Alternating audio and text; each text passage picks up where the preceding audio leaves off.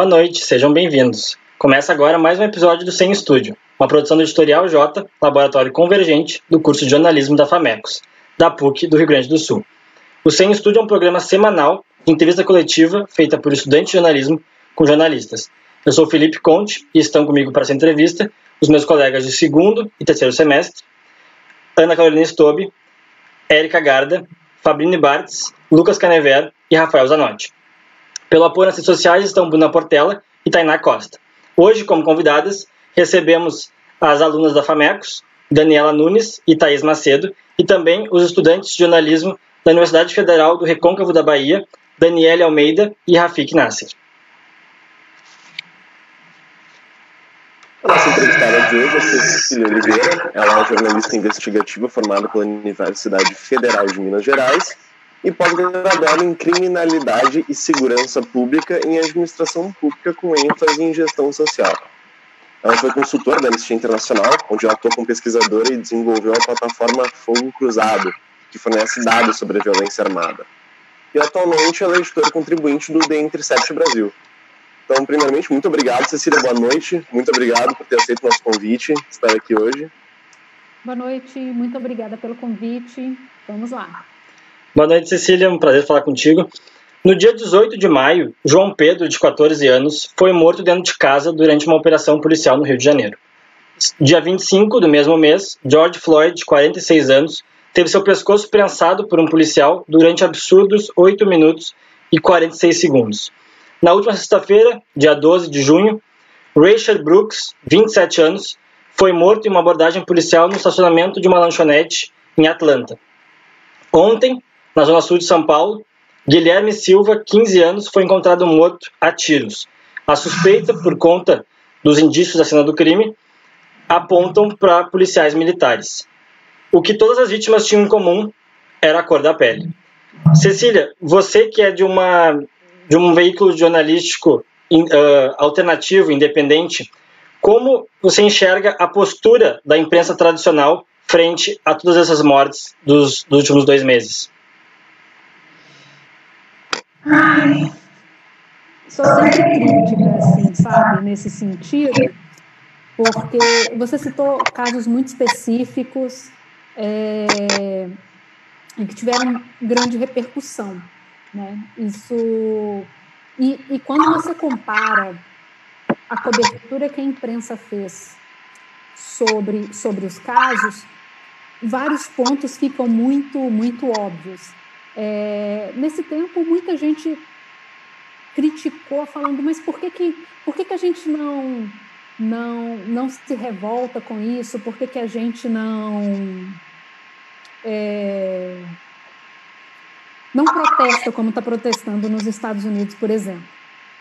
E ontem houve um protesto em São Paulo que aconteceu um adolescente de 15 anos foi, foi, morto depois de desaparecer depois de uma abordagem e, e a população protestou. Eu vou até ler aqui para vocês, eu separei aqui a, a manchete que, que saiu, essa aqui foi na Globo, foi, foi na, saiu no G1. Ônibus são incendiados durante protesto contra a morte de adolescente na zona sul de São Paulo a gente não. Quem é o adolescente de 15 anos? Não tem o um nome ali na manchete. Adolescente de 15 anos não, não é um nome. Então, assim, isso ajuda muito a despersonalizar a, as vítimas. É, e a gente vê que essa coisa. O, o, a primeira coisa que se falou era sobre o ônibus incendiado. Então, assim, a gente inverte o, o valor das coisas ali. O fato importante é, é a morte do Guilherme. O, o adolescente de 15 anos se chamava Guilherme. Então a gente tem essa, essa, essa, essa invisibilidade do Guilherme ajuda com que essas pessoas que têm o perfil de pessoas, entre aspas, matáveis, se percam porque aí a gente é só é, é um adolescente, só mais um adolescente. Então assim, a gente a gente sequer memoriza quem são essas pessoas. É, então isso isso colabora muito para que a gente para que isso vá passando batido e a gente não tenha essa noção de quem são essas pessoas e se lembre dessas pessoas pelo nome. Né?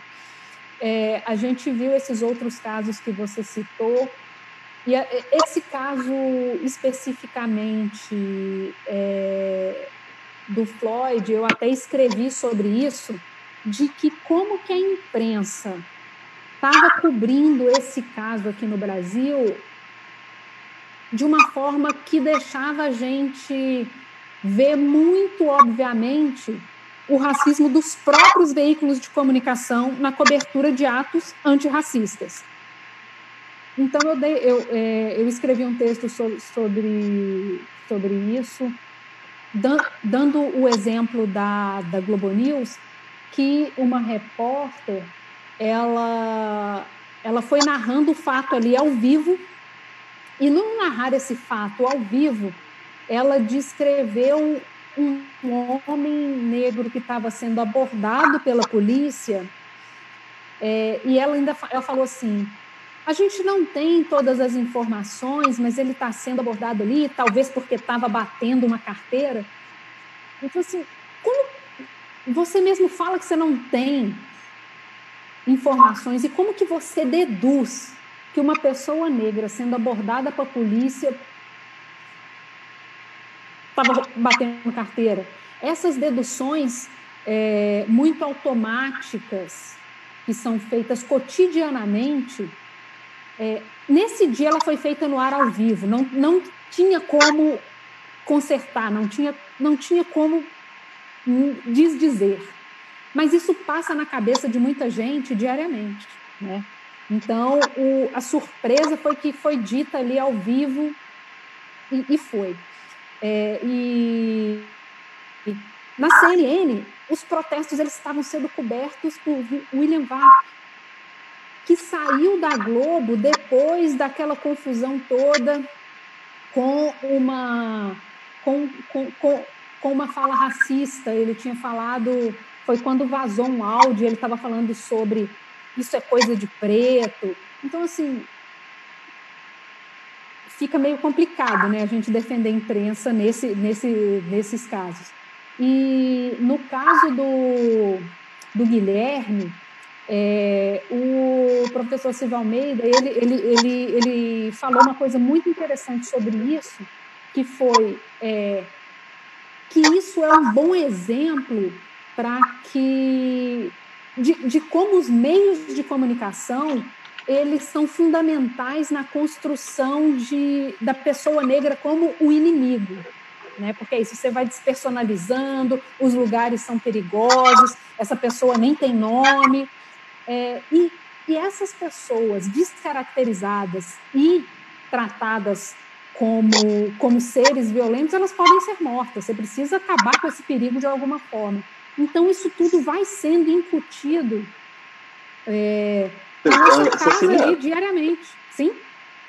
Aproveitando o gancho do que a mídia faz com essas pessoas, eu queria saber por que quando a gente vê casos de, por exemplo, um jovem branco ser abordado com, possuindo drogas.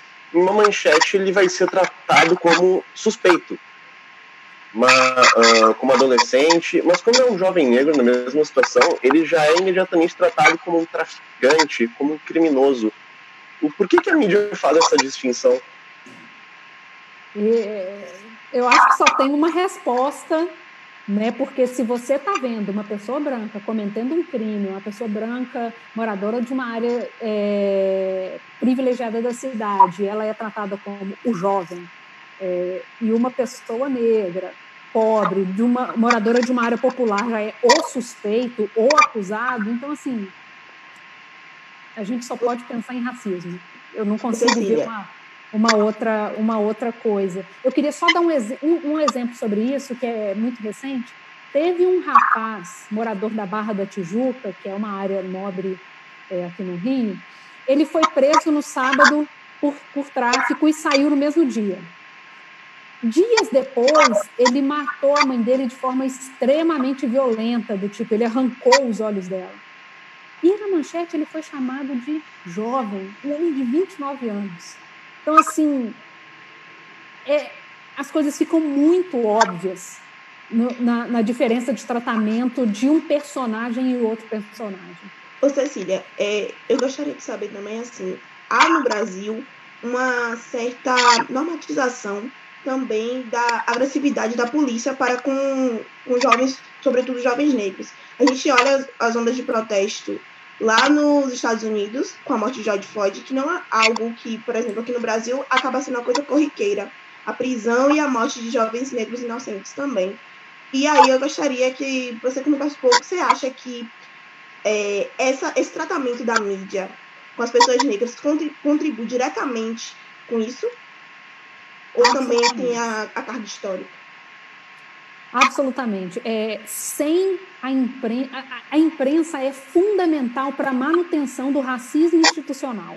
Isso é, isso é assim, sem imprensa fazendo essa, essa engrenagem rodar, isso não seria possível.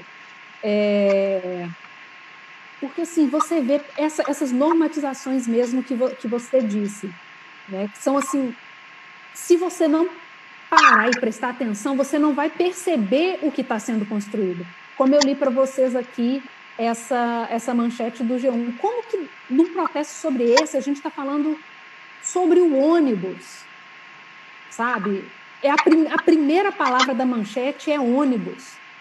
Então, assim, esses pequenos mecanismos vão ficando, vão ficando óbvios quando você para para analisar. Né?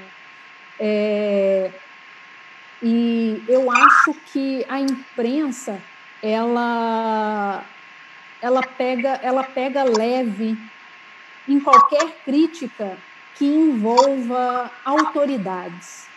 Ela critica de forma mais leve, ela tem mais pudor. A gente viu o caso é, daquela criança que caiu do, do prédio no Recife a imprensa ela teve ela teve cuidado de não divulgar o nome do, do, dos acusados dos acusados envolvidos no caso. Ela respeitou isso, que é uma regra que já existe há muito tempo, mas que não vale para todo mundo. E a gente sabe quais são esse todo mundo para qual a regra não vale. Eu vou dar um, um, um exemplo aqui muito muito didático que é esse, esses, esses, esses programas policiais que expõem as pessoas o tempo todo, estão lá com o microfone na boca da pessoa, na porta da delegacia, filma dentro do olho da pessoa. Não deram imagens, não deram nomes, não chamaram pelo CPF cancelado das pessoas acusadas de colaborar ali para a morte de uma criança de cinco anos. Então, assim, os jornalistas eles sabem quem eles podem cutucar, porque assim essa família envolvida nessa morte é a família, é a família de um prefeito. O prefeito ele pode processar um jornal e quebrar as pernas desse jornalista, né? É, mas uma pessoa que teve uma fala colocada na boca dela ou que foi filmada na porta de uma delegacia e depois foi absolvida, ela não tem como processar esse jornal depois, se ela for uma pessoa pobre. Ela não tem como. E se ela não tiver dinheiro para pagar um, um, um, advogado? E a cara dela já estampou todos os jornais, já esteve, já está no YouTube, já viralizou. A história dessa pessoa já, já ficou manchada. Mesmo se ela for dissolvida depois, não tem nada que desfaça isso, né?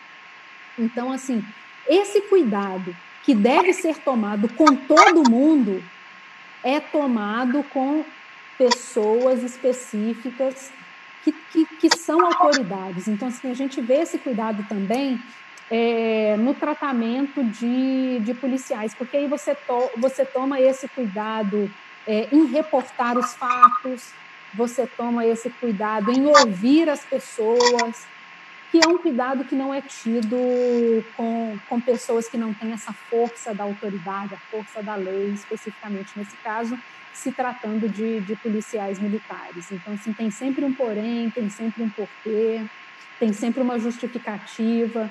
E a gente vê, especialmente nesses programas policialescos, assim, é, é assessoria de imprensa da polícia 100%, assim, é, é, é praticamente uma torcida organizada da polícia. Então, assim, não, você nem sabe direito o que aconteceu, não teve julgamento, não tem nem, às vezes não tem nem prova suficiente, o negócio está no meio do caminho, mas você já está ali atropelando todo o processo para poder ter uma manchete, ter alguma coisa ali.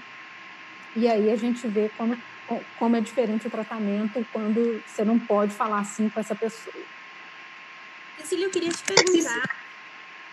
Pode falar. Queria te perguntar ainda referente ao que tu estava falando ali sobre a cobertura da mídia. E a gente sabe que a forma com que o jornalismo cobre, né, todos os acontecimentos molda muito a visão do público. E a gente também entende que é diferente a forma com que os jornal, os jornalismo, o jornalismo independente cobre essas, essas manifestações, todos esses casos.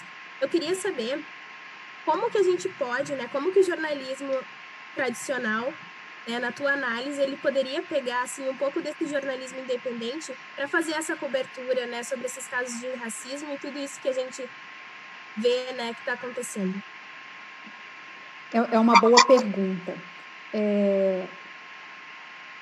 O jornalista, ele, ele é formado pela sua, pela sua própria vida. Então, assim, eu tenho uma história de vida que foi construída é, do lugar onde eu venho, com as pessoas com as quais eu convivi, os lugares, os locais onde eu morei, o que, que acontecia ao meu redor, os livros que eu li, as pessoas com as quais eu convivi.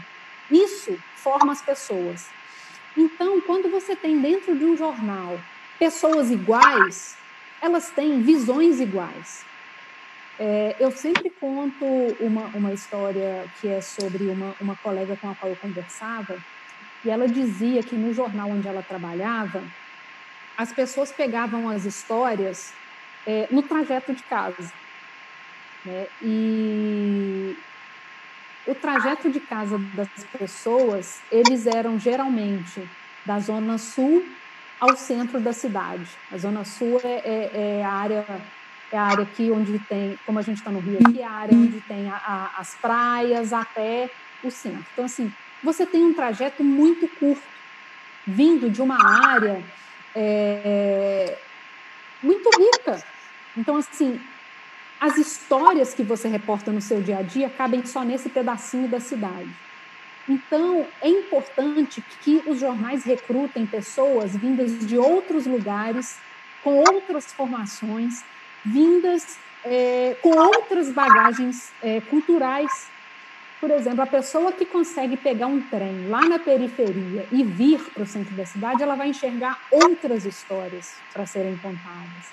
Ela vai ter outras pontes ela vai, ela vai literalmente ver outras pessoas, outras paisagens e despertar para outras histórias. Então, assim, se você está tá contratando para o seu jornal sempre pessoas que moram ali em dois, três bairros, todo mundo vizinho, morando, frequentando os mesmos bares, indo para os mesmos lugares, jantando nos mesmos lugares, qual a diversidade que isso tem? Com que tipo de pessoas essa, eles convivem? Então, isso restringe muito o modo como elas, como o jornal vai reportar é, a cidade que ele cobre, por exemplo, né? se for um jornal do, do seu município ou ali é, da região metropolitana do seu estado. Então, assim, esses filtros são invisíveis, mas eles existem, eles filtram as histórias de outras pessoas. Quantas pessoas que moram em bairro popular, uma pessoa que mora num bairro rico conhece? sem contar a empregada doméstica e o porteiro, sabe? Com qual você não troca todas as ideias do mundo. Então, assim, é importante que essa diversidade venha, inclusive, da diversidade de formação dos profissionais que, que vão trabalhar nesse lugar. Cecília, boa noite. Ainda sobre, o, ainda sobre o tema, numa matéria que foi veiculada no The Intercept, essa que você citou no início da entrevista, você se dizia pessimista quanto ao avanço da imprensa brasileira em relação à superação é, da propagação desses estereótipos. Na sua opinião, quais medidas em curto prazo devem ser tomadas para resolver o problema e quem precisa tomar a iniciativa? As empresas jornalísticas, os cidadãos de maneira geral ou o Estado? Eu sou uma pessoa pessimista em geral, como você viu no final do texto. É... E especialmente nessas questões que são muito estruturais. Elas tangenciam a sociedade, assim, de cabo a rabo. É tudo, tudo está tá envolvido nisso. Então, assim, não tem uma, uma, uma decisão muito fácil para poder tomar. É, mas como, como você disse, nesse, nesse sentido de e aí como é que a gente vai fazer? O que, que a gente pode fazer?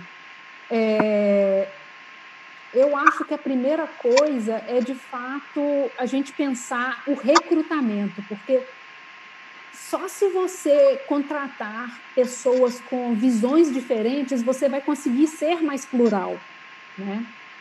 É, eu acho que esse é, inclusive, o caminho mais curto, sinceramente, porque os outros exigem, de fato, formação, é, um investimento em política pública.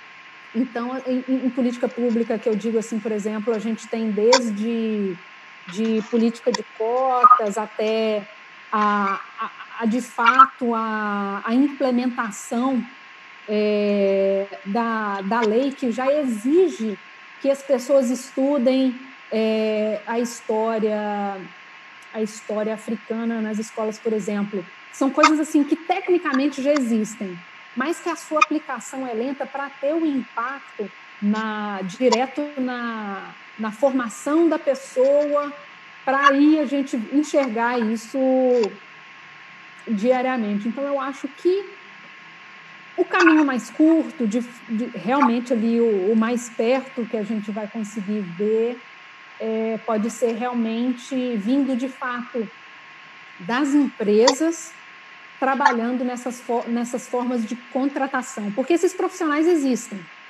Só que esses profissionais muitas vezes não têm o contatinho, a pessoa que conhece a pessoa, que conhece a pessoa que está recrutando. Então, assim, os processos de seleção eles precisam ser mais abertos e precisam priorizar o que, que você quer. Você quer só uma pessoa com currículo fodão? Você só quer uma pessoa assim com currículo de escola top? Ou você quer é, uma pessoa que tem uma experiência de vida que vai agregar nas coberturas? Você pode ter pessoa com, com formações assim tangentes, fez jornalismo, beleza. Ah, mas ela fez um um, um, outro curso que complementaria melhor a visão que o jornal se propõe a ter daqui para frente. Então, assim, você tem esses outros mecanismos.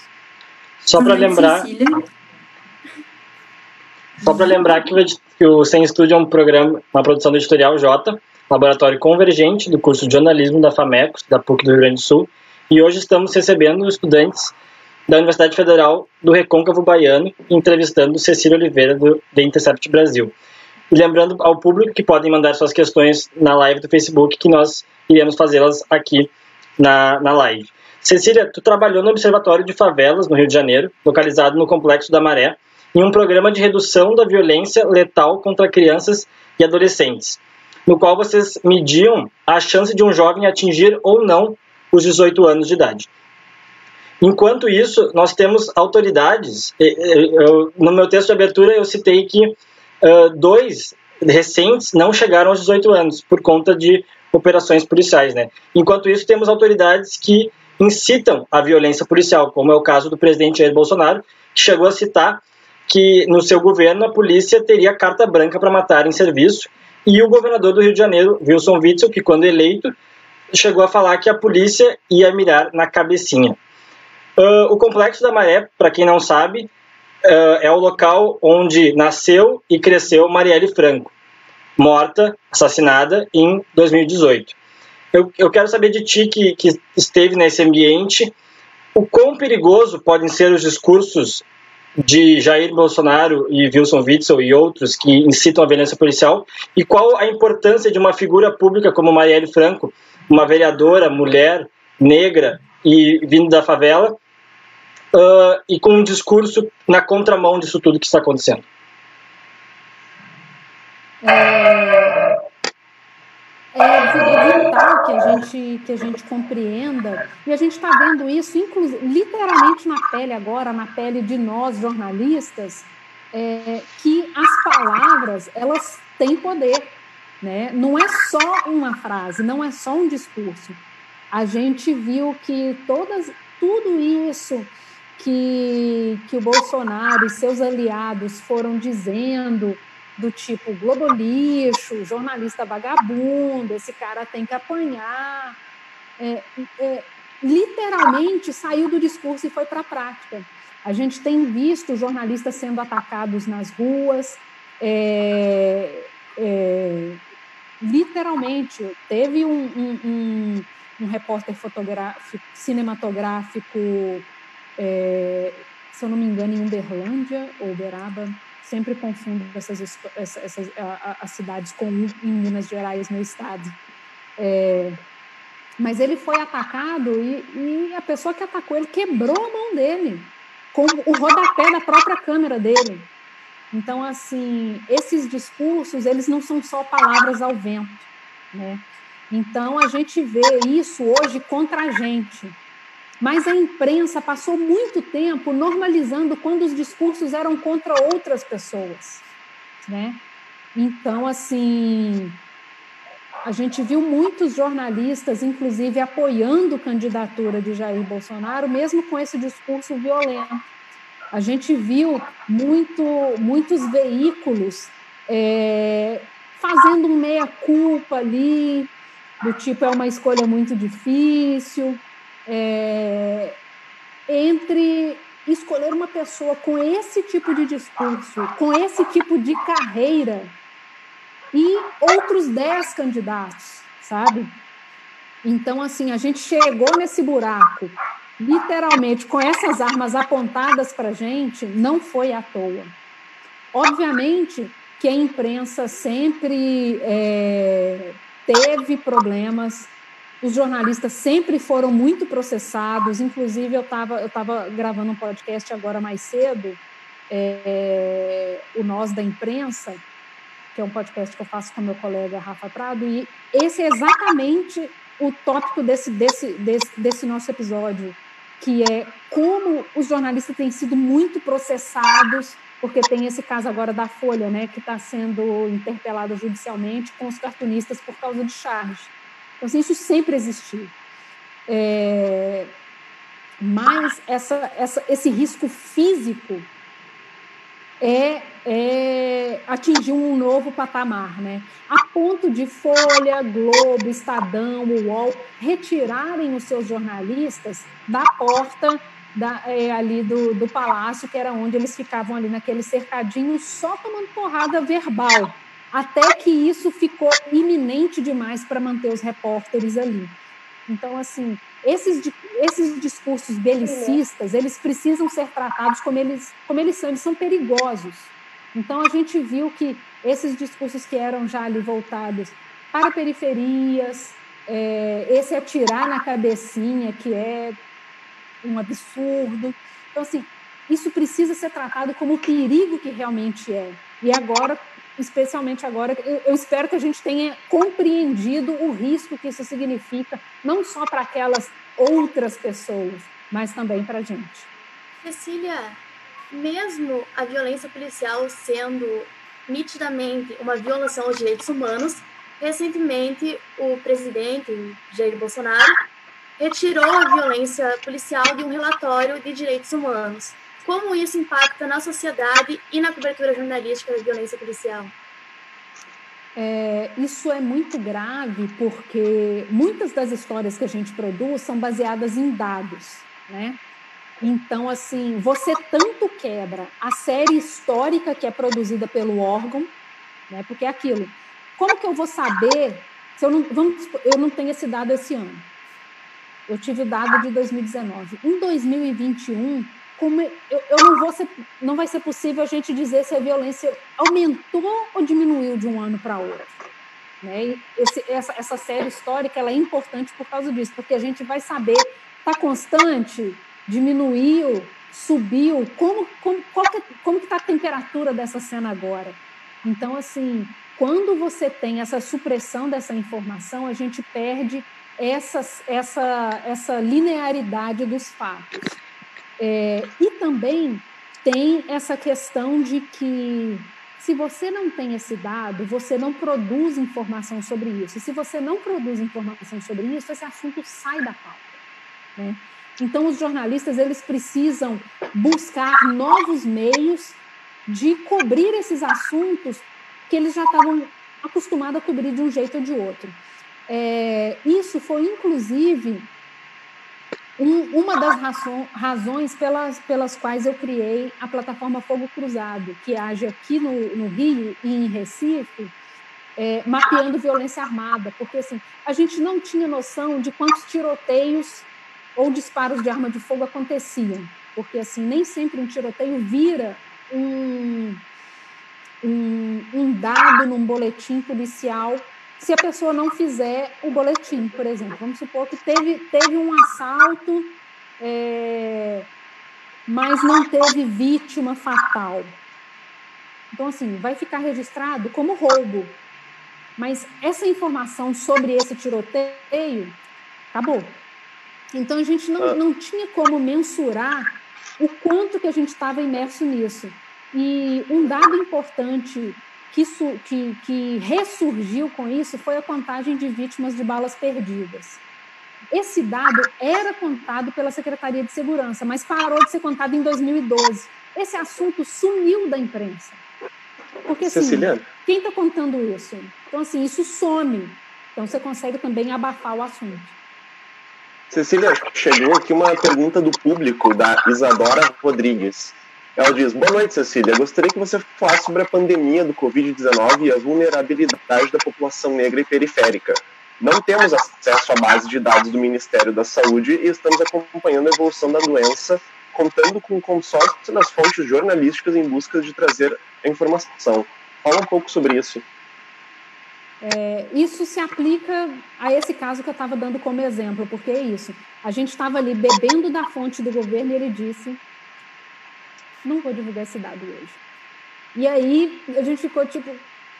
Mas a gente tem a sorte que, já, inclusive antes desse consórcio ser formado, já tinham jornalistas trabalhando independentemente nisso, como Celo Soares e o Sérgio Spagnuolo. É, vale a pena depois vocês procurarem por eles no, no Twitter, que eles estão sempre divulgando é, essas informações. Tem o Álvaro Turicas também, que é inclusive aí do Sul. É, então, eles já eles já estavam é, trabalhando nessas bases, desenvolvendo scripts para poder puxar essas informações direto da fonte, para inclusive não ficar dependendo do governo federal, porque e, e, e, tomar a decisão correta, porque primeiro a gente tinha aquela constância de é, entrevista coletiva todo dia, depois o dado saía 5 horas, depois saía 7, depois saiu 10 horas da noite, depois não saiu, né? Então, assim, se a gente dependesse exclusivamente só do Ministério da Saúde, ia ficar a pé nessa questão. É, sobre, sobre a pergunta da Isabela, certo? Uh, a Isadora. Isadora. Sobre a pergunta da Isadora, é, nessa questão especificamente da, da do impacto é, do coronavírus na população negra, é uma boa pergunta, porque eu não sei se vocês acompanharam, mas é, instituições do movimento negro, é, vários coletivos do movimento negro entraram com um pedido é, na justiça para que o governo divulgasse é, as vítimas, inclusive é, descrevendo raça. E o governo recorreu dessa ação para dizer que não vai divulgar esse dado. Então, assim, a gente tem como tangenciar essa informação de outras formas e buscar também, né, é, através desses consórcios, você pode cavar essas informações direto nas secretarias, por exemplo, e tentar obter recortes específicos, é, enquanto o governo federal se nega a dar essa informação. Exato. Uh, e, inclusive, nós, aproveitando o gancho dessa pergunta, nós recebemos outra pergunta do público, dessa vez da Giovanni Alcântara. Cecília, tudo bem? Ainda pegando o gancho da pergunta da Isadora, gostaria que você falasse um pouco sobre esse descrédito aos profissionais da comunicação e, sobretudo, do jornalismo. Levando em consideração o aumento das notícias falsas, as tentativas do governo em burlar e divulgar os dados do novo coronavírus e o papel do comunicador nesse momento. Massa. É, nesse, nesse, nesse momento de crise geral que a gente está vivendo, é, uma pesquisa do Datafolha mostrou que o acesso ao, aos portais. É, como, qual era a palavra que eles usaram? Ao, aos grandes meios de comunicação cresceu muito. Então, assim, quando o calo apertou, as pessoas buscaram a informação nos meios tradicionais de comunicação. Então, assim, a credibilidade ela, ela foi sendo minada, ela continua sendo minada, mas é isso. Na hora que o calo apertou, as pessoas correram para os lugares de onde elas, elas, elas lembraram que vinham informações confiáveis. Então, assim, aquela sementinha da credibilidade, ela está semi-morta, mas não está 100% morta. Então, eu acho que esse é um momento, inclusive, muito importante para a gente aproveitar nesse sentido.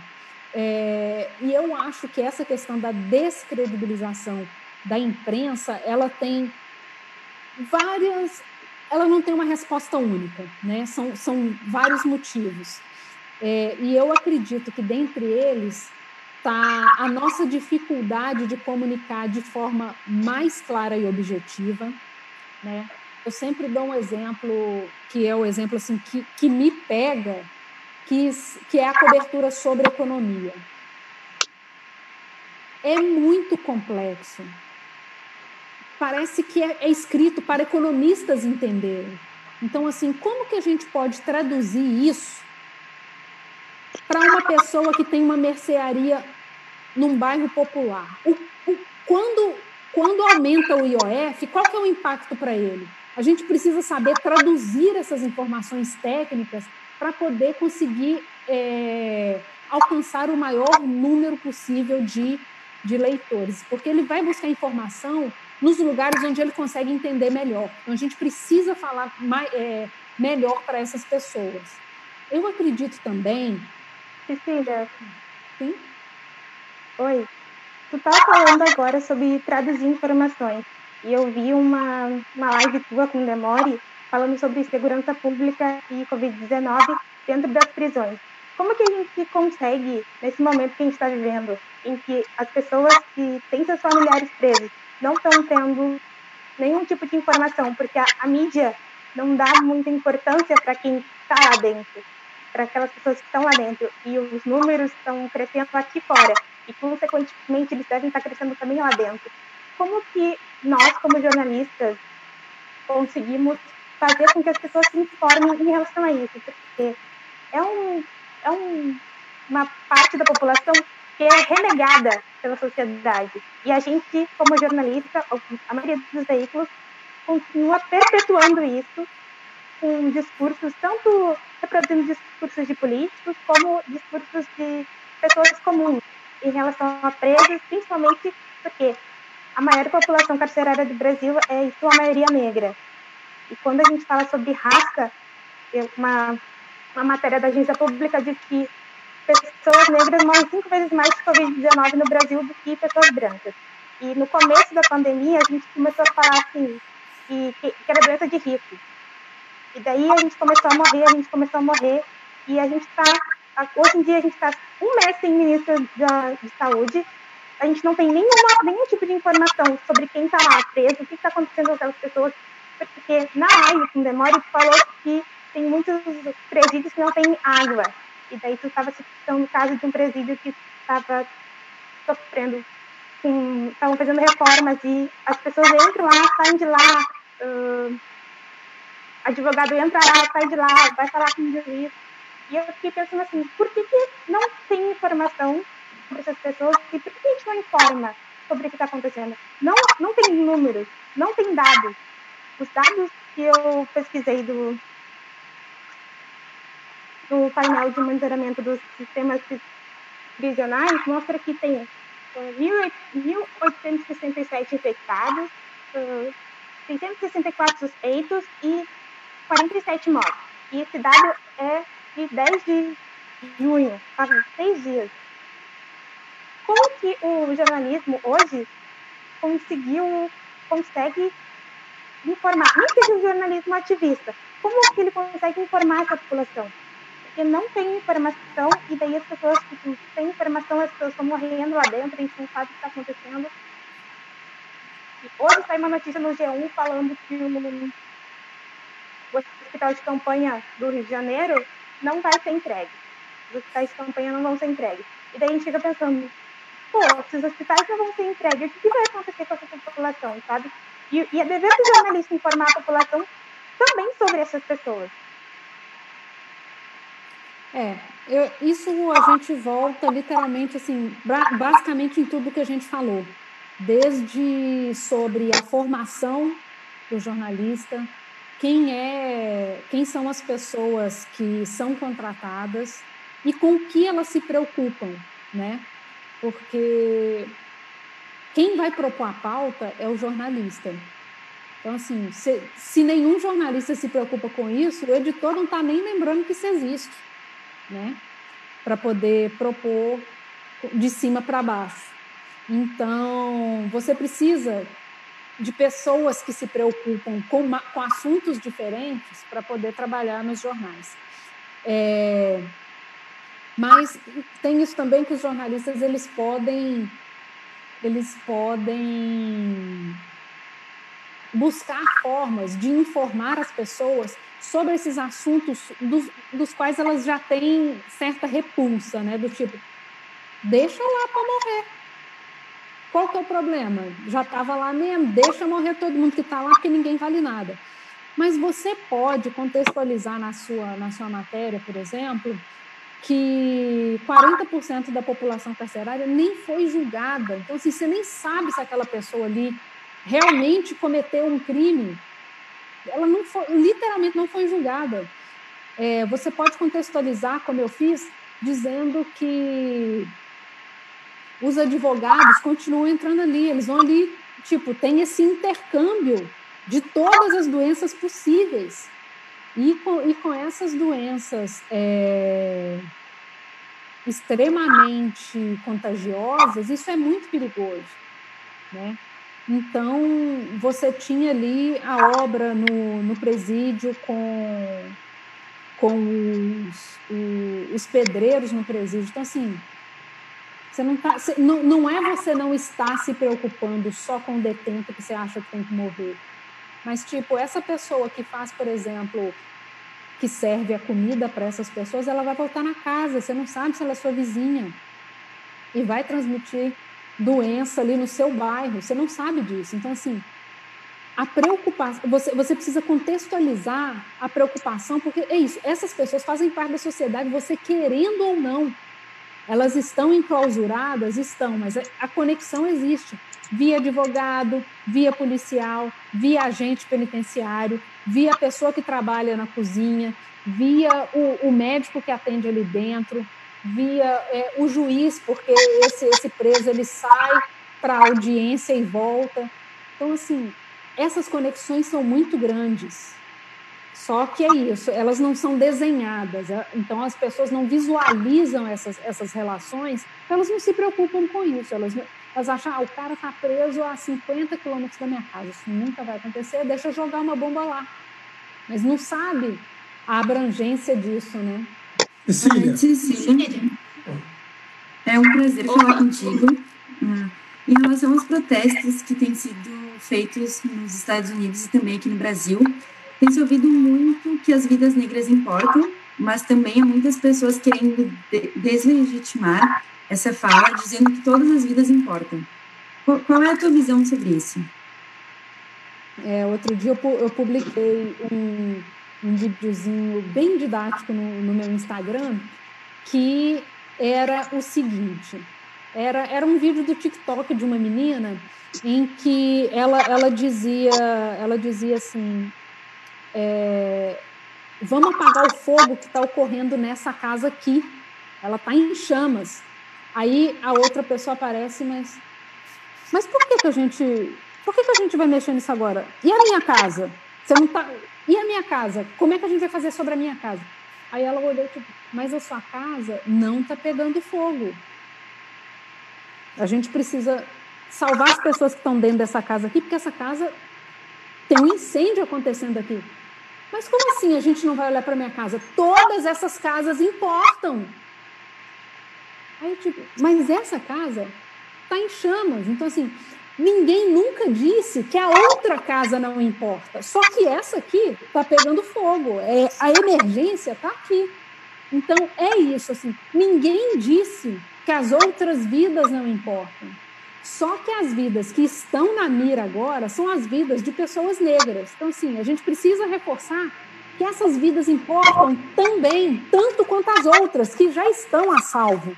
Então, assim, ninguém nunca disse sua vida não vale nada. Só que você está salvo aí na sua casa, assistindo essa live agora. Não é sobre você.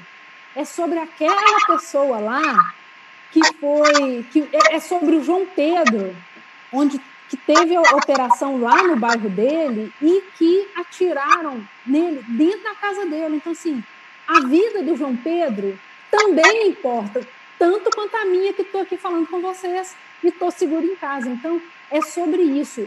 Essas vidas negras importam tanto quanto as outras que já estão a salvo. Cecília, em, de 2007 a 2017, segundo dados do Atlas da Violência, a taxa de homicídio da população preta aumentou cerca de 33%. Ou seja, em 2017, de 65.602 mortes, 75,5% das vítimas eram pessoas negras. E eu queria saber, voltando um pouco à pergunta da Thaís, como a política antidrogas, que é um carro-chefe dessa nova direita em ascensão, influencia na alimentação da estatística do homicídio contra a população negra e na alimentação da estatística do aprisionamento da população negra. E qual o papel da mídia nesse processo todo? É, é uma boa pergunta. A, a lei de drogas ela é ali de 2003, 2006. É, e ela era problemática desde o início, porque ela tem uns itenzinhos que te deixam uma margem assim perfeita para um julgamento incorreto que é, é tecnicamente faz a diferenciação entre é, usuário e traficante. Mas ela deixa o porém que é depende da quantidade, depende de onde essa pessoa foi presa, depende das circunstâncias. Ou seja, esse tanto de depende vai, vai levar em consideração quem são as pessoas e onde elas estão.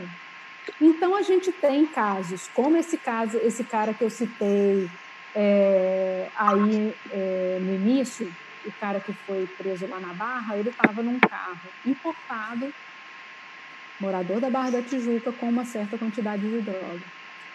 Mas você tem inúmeros casos de pessoas é, pobres pegas com quantidades minúsculas e que foram encarceradas.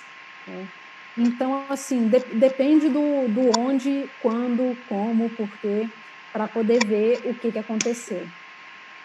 É... Uh, Cecília, uh, recebemos mais uma aqui da audiência, Isadora Rodrigues. E a população em situação de rua também tem visível preocupação seletiva. É... Sim, sem dúvida é uma preocupação seletiva, porque aí a gente vê também que são a, a, aquelas pessoas tidas como invisíveis de qualquer forma, né? E que têm um perfil muito semelhante é, em todos os casos, que curiosamente são pessoas negras, né? É, então a gente vê também essa essa essa questãozinha aí nesse sentido de que são pessoas que já são muito invisibilizadas, mas a gente tem a sorte de ter pessoas, por exemplo, como o Padre Júlio em São Paulo, que está ali, ele é o socorro dessas pessoas, assim, literalmente de noite, né? Então a gente tem essa sorte de pessoas se preocuparem com, com essas pessoas que são invisíveis para muita gente. É, não sei se você acompanhou, Cecília, mas nesse final de semana aqui na Bahia, em Salvador, um jovem foi preso, Gabriel, é, injustamente, né? A polícia tinha só a, as identificações características que ele era negro e loiro e tatuado. E aí prendeu ele, segundo a polícia, em flagrante, na frente do, do banco, quando ele foi sacar seu auxílio, enfim. E aí falaram que ele tinha saltado um carro, sendo que ele nem sabia dirigir. As vítimas foram lá, não reconheceram Gabriel e ele, ele mesmo assim continuou preso. Gabriel ele tinha, ele tinha asma e ficou numa cela com seis presos suspeitos de Covid-19.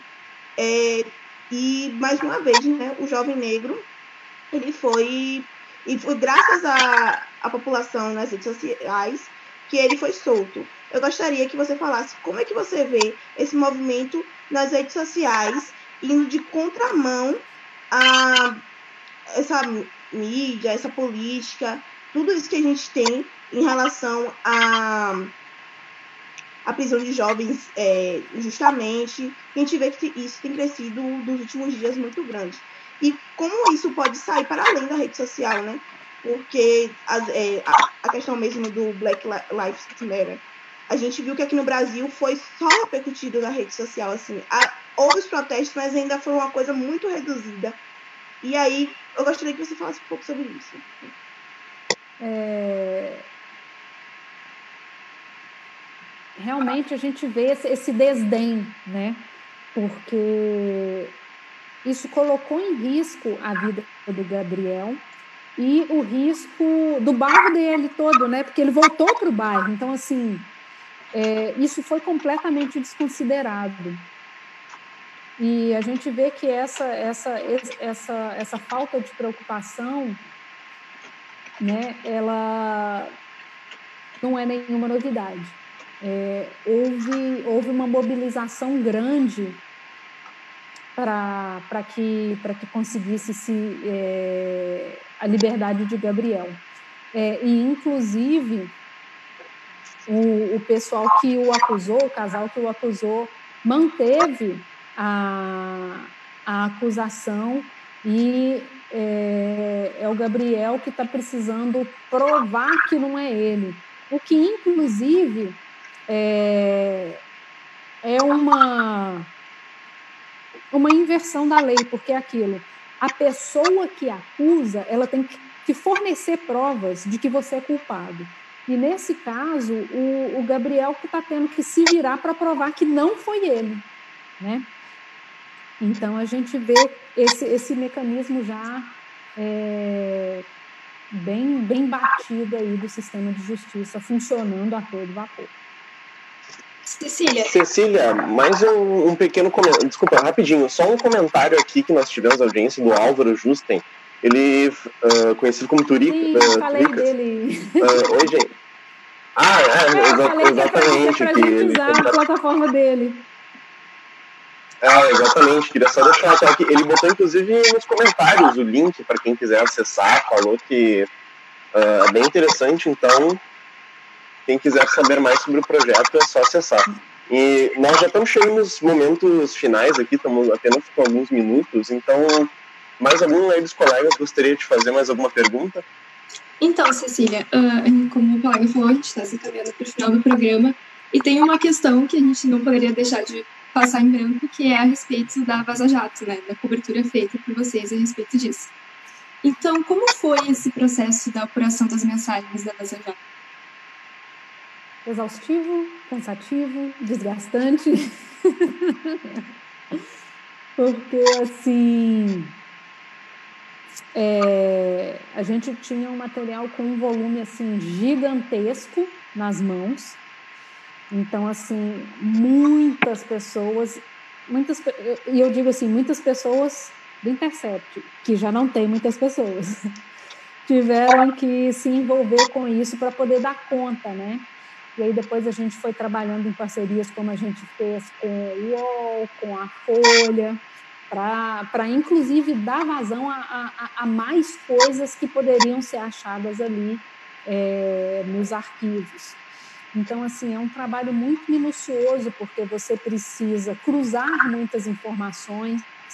Eu lembro, lembro de uma matéria que o, que o BuzzFeed fez, que ele, ele pegou uma, uma matéria que a gente tinha soltado e lançou outra só cruzando as datas para poder dizer, olha, nesse dia foi feito isso, isso e isso, saiu essa, essa é, e essa notícia, para poder é, ir cruzando essas informações para que a gente conseguisse ver o que estava acontecendo naquele momento em que estava, em que, em que os procuradores estavam conversando sobre isso, isso e isso. Então, assim, é, foi, foi um, também foi uma força-tarefa, né? uma força-tarefa muito grande é, dos jornalistas do, do Intercept e dos jornalistas que foram trabalhar com a gente vindos de outros veículos, para poder apurar é, e dar conta de escrever tanta coisa, ler muita coisa, pesquisar muita coisa, cruzar muita informação,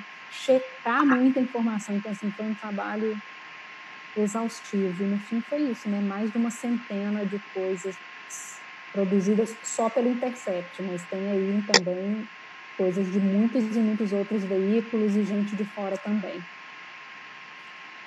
Boa noite, Cecília. É um prazer enorme estar falando contigo aqui.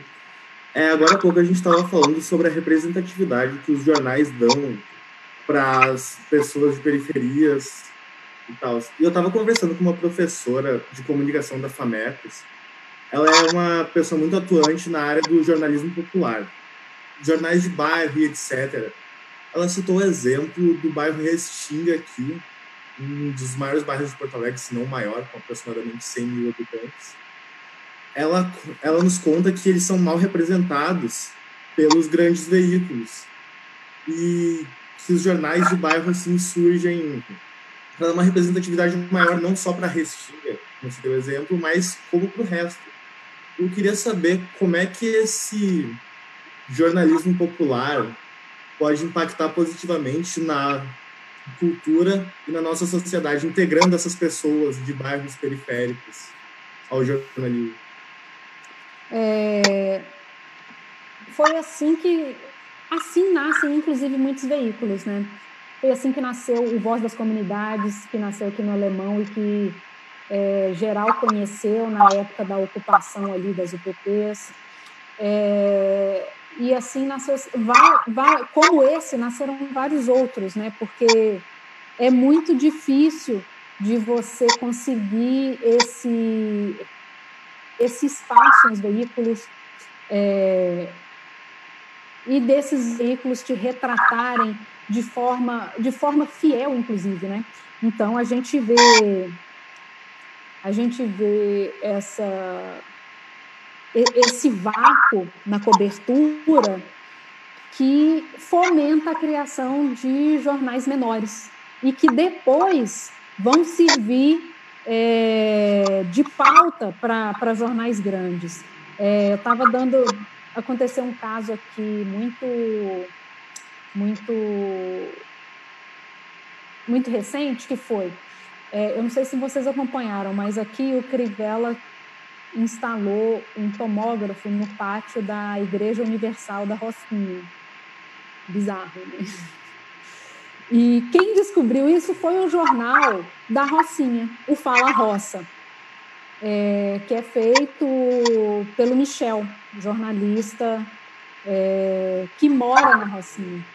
Então, ele cobriu é, esse assunto exaustivamente. No site tinha mais de 10 matérias, desde do edital, do início das obras, é, a briga que teve na justiça para tira o tomógrafo, deixa o tomógrafo. Então, assim, e aí depois que ele cavou esse buraco e que isso ganhou, ganhou um ar ali na, nas redes sociais, foi que o Globo deu. E deu sem citar a fonte. Então, assim, você tem também essa questão do de que essa troca também é muito complexa, né? Porque é muito comum que jornais grandes reproduzam é, material de jornal pequeno e deixa para lá, eu descobri sozinho, ponto final. Então a gente tem que, tem que ter também esse cuidado de que uma coisa que é super cara para a gente, que é essa questão da fonte, da fonte é cara para outras pessoas também. A gente precisa respeitar isso. Cecília, é uma pena, mas a gente já estourou nove horas e eu queria te agradecer novamente pela conversa. É muito bom compartilhar uh, da, dessas grandes experiências com jornalistas. Eu queria agradecer novamente o público pela participação. Se quiser dizer mais alguma coisa para encerrarmos. Eu queria agradecer pelo convite, dizer que é muito massa essa troca que a gente tem, né? Porque é bom a gente ver como que está vendo essa, como que está vindo essa geração. Então, assim, eu achei as perguntas ótimas, as abordagens muito boas é, e que já mostra preocupação com temas que são relegados pelos profissionais que já estão trabalhando hoje. Então, assim, eu inclusive espero que vocês cheguem e renovem, porque está precisando. Certo. Então, ah, na semana que vem, nós iremos receber a jornalista canadense do New York Post, Isabel Vincent. Então, eu desejo a todos uma boa noite e obrigado novamente, Cecília. Obrigada. Tchau, gente. Tchau. Tchau, tchau.